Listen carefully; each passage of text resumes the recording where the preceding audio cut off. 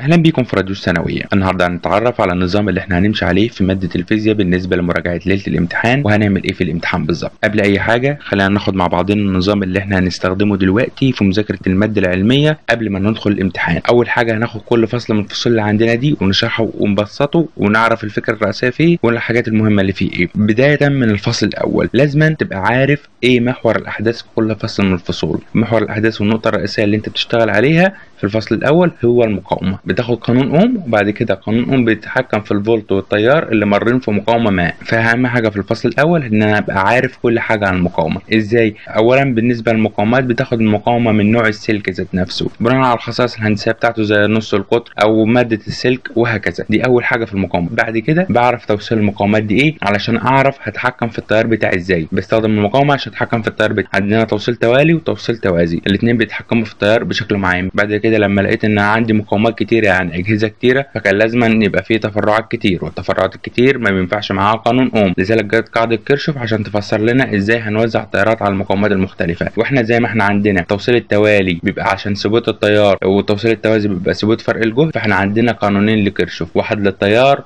واحد لفرق الجهد. لأن الفيزياء زي ما قلنا قبل كده هي دراسة التأثير والقياس. القياس بتاعي لازم نبقى اعتمد على حاجة ثابتة. توصيل التوالي بيبقى ثابت مع التيار والتوصيل التوازي بيبقى ثابت مع فرق الجهد. فلازم يبقى عندنا قانونين لكيرش والتركه بقى في الباب ده إن أنت تعتمد على الاتجاه بتاع الدايره اللي أنت هتاخده معاك. لو هتاخد الاتجاه بتاع عقارب الساعة أو عكس عقارب الساعة تبقى واخد معاك مصدر التيار كويس. تمام؟ فتاخد بالك من الاتجاه في الحتة دي. لأن دي ليها مصدر التركات في الباب ده. الفصل الثاني قال لك إن الدايره الكهربائية اللي عندنا دي بتشتغل كمغناطيس قال لك المطلوب إن أنت تاخد الدايرة دي وتطبق عليها جميع خواص المغناطيس. إيه بقى خواص المغناطيس؟ انه يبقى له فيض الاتجاه بتاعه. كل جزئية من جزئيات الفصل الثاني اللي عندنا بتمشي على هذا النظام. أهم حاجة إن أنت تبقى عارف الفيض المغناطيسي. لذلك المطلوب منك في الفصل الثاني إن أنت تبقى عارف الفيض المغناطيسي. والفيض المغناطيسي بيعتمد على إيه؟ على شدة التيار لأن لو مفيش تيار يبقى مفيش مغناطيس. وبعد, وبعد كده البعد. البعد لأن إيه؟ كل ما زادت المسافة كل ما قل التاثير المغناطيسي طبعا برضو بتاخد نفس العوامل الفيزيائية اللي عندنا. هي النفاذيه المغناطيسية؟ دي خواص متعلقة بالمواد اللي عندنا زي توصيل الكهربائيه في الفصل الأولاني. بعد كده في الفصل ده بيقعد بقى يشكل لك في السلك. اولا كان السلك مستقيم. بعد كده بقى السلك دائري فالفيض المغناطيسي بتاعه هيختلف. وهنا بنضيف هنا عدد اللفات. بعد كده بناخد السلك ونشكله على هيئة ملف حلزوني وهنا بنعتمد على عدد اللفات. وعلى طول الملف بتاعنا ده إيه؟ وبرده بنشوف الفيض المغناطيسي ده هيشتغل إزاي. بعدين بقى بتاخد السلك اللي معاك ده وتحطه في مجال مغناطيسي. إحنا مش اتفقنا إن المغناطيسيات بتتجاذب مع بعضها. إحنا دلوقتي بنقول إن الدائره الكهربائيه دي بتشتغل كمغناطيس. هل لو جبت مغناطيس تاني بجنب الدائرة الكهربائية دي اللي بافتراض إنها مغناطيس هيتجاذبوا ويتنافروا برضه؟ ولا مش هتبقى ماشية مع السهرية اللي هو هنا إيه إن أنا أحط السلك بتاعي اللي فيه تيار كهربي في مجال مغناطيسي فلو إن السلك فعلا بيتأثر بحركة عليه يبقى فيه تجاذب يبقى كده المغناطيس ماشي معانا صح؟ فهنا تولدت قوه يبقى كده معانا ثلاث حاجات بقى معانا قوة وبقى معانا فيض وبقى معانا تيار كهربي. القوة هي ناتجة عن الحاجتين دول عن الفيض وعن التيار لأن الفيض والتيار هما الحاجات الثابتة. فالنتيجة اللي عندنا اللي إحنا بندرسها هي القوة لأن القوة دي هي اللي هستخدمها في الأجهزة فيما بعد. فاهم حاجة أحددها في الجزئية دي هي إن أنا أحدد اتجاه القوة هيبقى إزاي. يعني السلك بتاعي هيمشي في أنهي اتجاه والحتة دي بنحددها بقاعدة فلامنج اليد اليسرى. كده السلك معايا اتحرك. بعد كده قال لك إن طالما السلك ده بيشتغل كمغناطيس فأنا أجيب سلكين كل واحد بيمر فيهم تيار وبالطبع الاثنين مغناطيسيين فبرضه هيت... يا إما هيتجاذبوا مع بعض يا إما هيتنافروا مع بعض. ولو إن في حالة التيارين في نفس الاتجاه فهتلاقي إن السلكين بيتجاذبوا ولو في عكس الاتجاه فهتلاقي إن التيارين بيتنافروا. وده بسبب برضه تطبيق قاعدة فلامنج اليد اليسرى. لأن لو القوتين في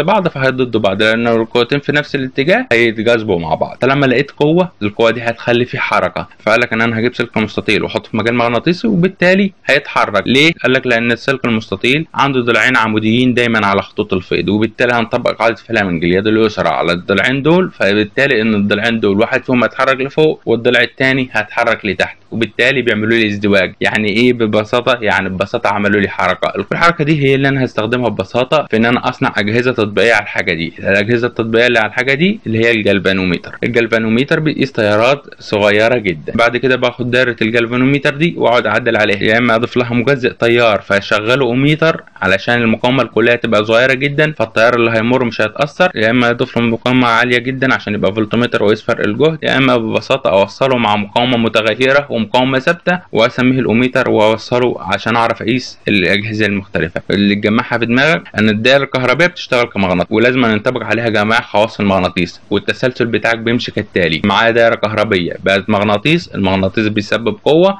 القوة بتسبب حركة الحركة بتسبب أجهزة بتشتغل معايا. مفيش أي حاجة تاني في الباب ده غير الحاجات دي. ال tricks اللي فيه لو جت هو إن أنت تحدد القوة داخل الصفحة أو خارج الصفحة طبعا باستخدام القواعد اللي عندك في تحديد الاتجاهات اللي عندك. فتاخد بالك من الحتة دي. أما بقى قوانينه فقوانينه سهلة. طبقا لما قال لك ملف دائري أو ملف لولبي أو ايا كان السلك اللي موجود عشان تولد عليه القوة. الفصل الثالث ببساطة بيقول لك إحنا بنستخدم المغناطيس علشان نولد كهرباء التيار الكهربي ده ناتج عن إيه؟ عن قطع خطوط الفيض. يعني أنت لو دخلت المغناطيس في الملف اللي عندك ده بسرعة وطلعته بسرعة فهيتولد تيار أكتر لأنه بيعتمد على معدل قطع خطوط الفيض. يعني إيه خطوط الفيض؟ يعني أنا عندي مغناطيس ده حواليه الخطوط الفيض بتاعته. الملف بتاعي اللي عندي ده كل ما بدخله بيقطع خطوط الفيض. يعني بيتوازي معاها وبيخرج منها وبالتالي بينتج عني تيار مغناطيسي اسمه التيار المستحث التيار المستحث وبقوه الدفع المستحث يعتمد على عاملين بس. عدد لفات الملف والسرعة اللي أنا بدخل أو بطلع بها المغناطيس بتاعي. معدل قطع خطوط الفيض. ما عندكش أي حاجة تانية تعرفها في الفصل ده؟ دي القاعدة الرئيسية اللي لازم تمشي عليها. بعد كده طالما افترضنا إن الدائرة الكهربائية بتاعتنا دي بتشتغل كمغناطيس المغناطيس ده لما بدخله في ملف فبيولد فيه قوة دفع مستحثه وهنا جت فكرة الملف الابتدائي والملف الثانوي. الملف الابتدائي هو ملف عادي دائرة كهربائية عادية فيها ملف. الملف ده بيشتغل كإيه؟ كمغناطيس. المغناطيس ده هدخله في دائرة تانية ما فيهاش مغناطيس ولا فيها أي حاجة فهيولد فيها تيار مستحث كده دي ودي الفكرة الرئيسية بتاع المحاورات اللي إحنا بنشتغل عليها في بقية الباب. بعد كده طالما بنلاقي إن في مجال مغناطيسي وفي حركة في المجال المغناطيسي يعني إحنا بنقطع خطوط الفيض باستمرار فخطوط الفيض دي طالما بتنقطع باستمرار هتولد عندي إيه؟ تيار كهربي المبدأ الرئيسي اللي هو مبدأ عمل الدينامو اللي هو عكس الباب الثاني الباب الثاني كنا بناخد المغناطيس عشان نولد حركة دلوقتي بناخد الحركة علشان نولد مغناطيس. طالما الحركة بتقطع خطوط الفيض وبتولد فيها تيار كهربي مستحث وده اللي هو المولد الكهربي في أبسط صور. وطبعا بتاخد الرسمة بتاعتك وتبقى عارف إيه المكونات الرئيسية وبتبقى عارف الدورة الكاملة بتبقى ماشية فيه إزاي؟ بعد كده المولد الكهربي ده علشان بيولد تيار متردد. يعني إيه متردد؟ لأن قلنا شغالين هنا على معدلات. طالما معدلات يبقى طالما بتتغير باستمرار فالتيار بتاعي هيتغير باستمرار يبقى متغير الشدة والاتجاه. فأكيد إن التيار اللي هينتج هنا التيار المستحث ده هو تيار متردد وده هو موضوع الفصل الرابع. بعد ما بولد التيار بحوله يا إما اعليه بالنسبة للمصانع يا إما أخفضه بالنسبة للبيوت بتاعتنا. فلازم إيه ملف ابتدائي وملف ثانوي عشان أتحكم في التيار اللي مر بتاعنا ده اللي هو إيه المحول الكهربي. بعد المحول الكهربي بستخدم المحرك الكهربي اللي هو إن طالما الحركة بتولد كهرباء فليه أنا معكسش العملية والكهرباء تولد حركة؟ أهم حاجة في الباب ده إن أنت تبقى عارف إن الموضوع كله مبني على التغيرات على المعدلات. delta I على delta t كل الحاجات دي مبنية على تغيرات ليه لأنه تيار متردد. الفصل الرابع هو الفصل الأول بس على العكس إن في الفصل الأول كان تيار مستمر ولكن الفصل ده هو تيار متردد. طالما تيار متردد يبقى متغير الشدة ومتغير الاتجاه فأنا هعتمد هنا على قياس معدلات. لذلك هنا بلاقي حاجة اسمها القيمة العظمى والقيمة الصغرى. بلاقي حاجة زي التردد اللي هو تردد التيار اللي عندي ده على النقطة الرئيسية في الباب ده إن أنت تبقى عارف الرسومات اللي عندك ماشية إزاي عشان هي دي مواضع الأسئلة في الامتحان. وتاني حاجة مهمة في الباب ده هو الجهازين الجداد اللي بقى عندك في الدايرة اللي هو الإندكتور اللي هو الملف اللي عندك ده وتاني حاجة الكاباسيتور اللي هو المكثف. وطبعا بنطبق عليها نفس قواعد توصيل المقاومات. الملف عندنا بيمشي بالظبط زي المقاومة. في التوصيل التوالي بنجمع وفي التوصيل التوازي بواحد على المقاومات. بيبقى نفس التوصيل بتاع المقاومات بتاعنا. إنما بقى في المكثف بيبقى على العكس. التوصيل التوازي هو اللي بنجمع والتوصيل التوالي هو اللي بن إيه بواحد على سعه المكثف اللي عندنا دي. فأهم حاجة في الباب ده إن انت تبقى عارف الرسومات وتبقى عارف إن هو مبني برضو على معدلات التغير. كده خلصنا الفيزياء الكهربائية. نيجي في الفيزياء الحديثة. إحنا معانا من الكهربائية مغناطيس ومعانا كهرباء. الاثنين دول هدمجهم في بعض في حاجة اسمها الكهرومغناطيسية. الكهرومغناطيسية دي هي الحاجة اللي بيدرسها الفيزياء الحديثة. وإيه أشكال الحاجات الكهرومغناطيسية المعروفة عندنا؟ اللي هو الضوء. الضوء هو إشعاع كهرومغناطيسي. لذلك الفيزياء الحديثة كلها هتشتغل على الضوء بتاعنا وعلى الإشعاعات. فأول فصل ببساطة بيدرس لنا مكونات الضوء بتاعنا ده إيه؟ يبقى في في أشعة مرئية وفي أشعة غير مرئية. عشان ببساطة بيختلف الطول الموجي اللي عندنا. ففي الطول الموجي اللي عندنا في بتبقى في أشعة مرئية وفي أشعة غير مرئية. وبقى على هذا الأساس بشوف مكونات الضوء بتاعي إيه. إحنا قلنا ان الضوء قال لك ان كل ماده مكونة من ذرات. أهم حاجة عندنا الإلكترونات على الرغم من لها كتلة يعني لها جسيم إلا إنها لها خواص موجية. يعني بتعاني الحيود والانكسار. يعني أنا ممكن الاقيها هنا والاقيها اللي هي الطبيعه المزدوجه للالكترون والإشعاع بتاع ده بيعتمد على الفوتونات اللي هي الفوتونات دي برضو اللي هي إيه؟ خواص جسيمية زي ما لها خواص موجية. وبالتالي بستخدم الحاجات دي في التاثير الكهروضوئي والانبعاث الحراري علشان أعرف الحاجات اللي بتنبعث إيه والحاجات اللي بتمتص إيه. وعلى هذا الأساس بتبنى معظم الأجهزة الإلكترونية اللي عندنا زي الميكرو الميكروسكوب الإلكتروني والحاجات دي علشان أعرف أكبر لأن أنا باخد لأن أنا باخد الإشارة اللي عندي دي وأكبرها أو أصغرها على حسب الطول الموجي بتاعها. الفصل اللي بعد كده اللي هو الأطياف الذرية بيقول دلوقتي درسنا الضوء. هنشوف بقى الضوء ده مكون من إيه؟ وفيه الأطياف الذرية اللي موجوده عندي. ومن هنا لقينا إن في نوع من أنواع الضوء طوله الموجي صغير جدا واللي هو زي الأشعة السينية مثلا والحاجات دي بتعاني من الحيود الحيود فتقدر تخترق جميع الأجسام اللي عندنا وبالتالي بستخدمها في التصوير هيكل عظم أو تصوير الحاجات اللي حواليا عشان بتخترق الأجسام بطريقة فائقه جدا وبالتالي بستخدمها في التطبيق الطبي. بعد ما عرفنا تحليل الضوء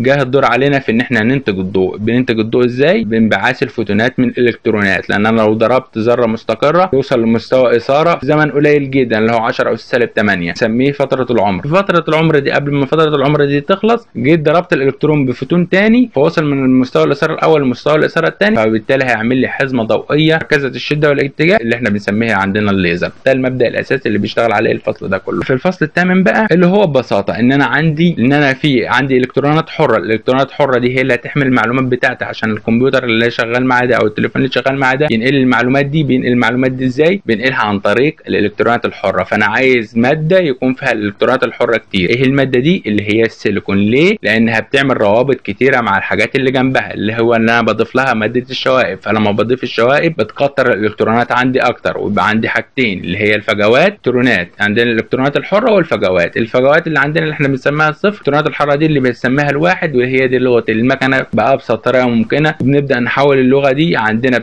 من خلال البوابات المنطقية اللي عندنا اللي هي ال AND وال OR. يا إما بنجمعهم يا إما بنضربهم علشان يا إما أكبر الإشارة أو أصغر الإشارة. الإشارة دي يعني عندي الإلكترونات دي بتحمل المعلومات دي وبتعمل لي إشعاع ضوئي على الشاشة بتاعتي علشان أعرف الإلكترونات بتاعتي اللي هي المبدأ الأساسي للفيزياء الرقمية وبكده يكون منهج الفيزياء بتاعنا خلص. فأهم حاجة في الفيزياء الكهربية تفهم فكرة الفصل إيه؟ تبدأ تطبق عليه. حاجة في الفيزياء الحديثة إن أنت تبقى فاهم الفكرة العامة والمبدأ العام اللي بيمشي عليه لأن بيبقى فيه تسلسل واضح في كل جزء من الأجزاء اللي عندنا. فاللي انت هتعمله دلوقتي ان انت هتبدأ تسجل النقاط اللي أنا قلت عليها دي دلوقتي تعرف الحاجات المهمة في كل فصل إيه وتبدأ تراجع عليها من تاني. بعد ما تخلص المراجعة بتاعتك دي في ال link في ال description لامتحان صغير كده امتحان تقويمي على الحاجات اللي هتجيلنا. ليه بقى؟ إحنا في الفيزياء الكهربية هنحاول نلخص النظري بأبسط صورة ممكنة وإحنا قلنا عشان نلخص النظري بتاع الفيزياء الكهربية كلها إنه معتمد في معلومات صغيرة مضغوطة. إيه المعلومات الصغيرة المضغوطة دي؟ اللي هي القوانين بتاع الفيزياء. إزاي؟ يعني أنت عندك في الفصل الأول مثلا بيقول لك إن قانون اوم بيساوي ال V بتساوي ال I في R يقول لك إن الفولت بيتأثر بشدة التيار والمقاومة اللي بيمر فيها التيار دي. فأنت النظري كله اللي عندك ده بيشرح القانون اللي بيحطه لك في النهاية. تقدر تلخص النظري بتاع الفيزياء الكهربية كله في 25 قانون فقط هي قوانين الفيزياء الكهربية. لما فهمت القانون صح هتقدر تحل المسائل صح وتقدر تجاوب على النظري صح. تمام؟ فكل اللي أنت هتعمله دلوقتي إن أنت تاخد كل قانون من القوانين دي وتبدأ تشرح به النظري اللي عندك. أما بالنسبة لنظام ورقة الامتحان بتاعنا فإحنا هنحل بالمسائل بتاعتنا عادي. أهم حاجة في الفيزياء الكهربية إن نبقى عارف القوانين زي ما قلت لكم كده لأن القوانين بتحل النظري وبتحل القوانين. أكون فاهمها صح. بعد كده في الفيزياء الحديثة أبقى عارف المبدأ العام لأن المبدأ العام ببني عليه كل الحاجات اللي عندي والتطبيقات بتاعتها اللي هي الأجهزة اللي عندي. تمام؟ ده في الفيزياء الحديثة. بالنسبة لحل المسائل محدش يقلق ابدا من المسائل. طالما أنت فاهم القانون زي ما قلت لك كده دربت عليه في الامتحان اللي إحنا حاطينه في ال link في هو مش امتحان بالطريقة التقليدية لكن هو لكن هو امتحان على طريقة التعامل بتاعتك مع الطريقة اللي هتجيلك في الامتحان. فمحدش يقلق خالص وناخد بالنا من التريكات اللي قلت عليها في كل فصل. وإن شاء الله بإذن الله بكرة هتشرفونا في الامتحان وأنا واثق من كده لو ركزنا على الحاجات ديت. وحتى موعد العلم القادم ابقوا على علم وتنسوا تشاركوا الفيديو لكل الناس. عنده أي أسئلة سيبها في الكومنتات. والسلام عليكم ورحمة الله وبركاته.